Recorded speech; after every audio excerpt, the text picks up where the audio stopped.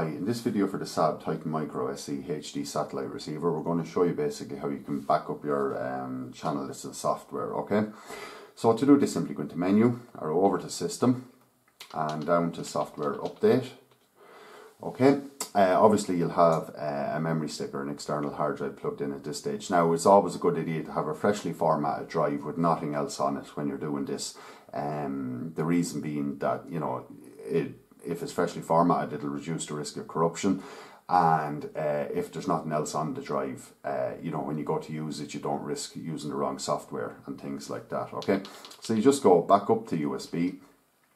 Uh, just select everything there uh, and then uh, you can just you have different options here you can either do channel list or all but uh, you know we generally just say all and just go back up to USB so it's a very quick process you'll see here now and there you go, backup file successful. So that's it, successfully backed up to your USB stick. So that's it uh, in a nutshell, uh, just how you can back up your software on the SAB Titan Micro SE HD satellite receiver.